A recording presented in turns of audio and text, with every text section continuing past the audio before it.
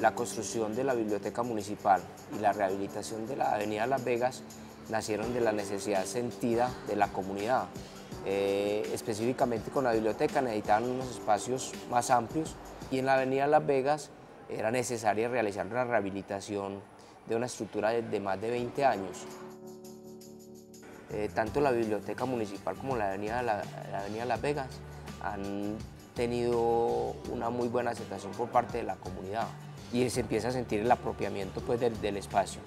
Y en la avenida de Las Vegas mejoró ostensiblemente la, la movilidad y tratemos de darle el mejor uso posible para que no solamente nosotros, sino nuestros hijos y las población, la, la comunidad venidera o nuevos habitantes puedan disfrutar también de estos espacios.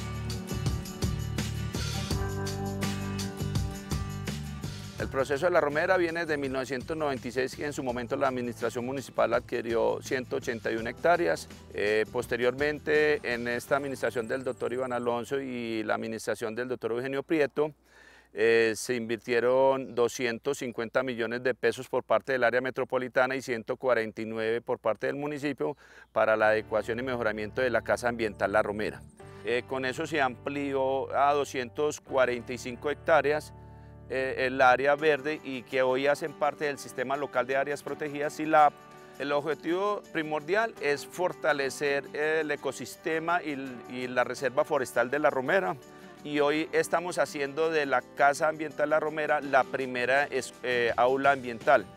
Yo como secretario de Medio Ambiente del municipio de Saneta invito a toda la comunidad, a todas las personas que vayan a visitar la reserva de La Romera, que la cuiden. Si usted trae sus, líquidos, sus comestibles, regrésese nuevamente eh, ese desecho sólido que se genera, no nos lo deje aquí.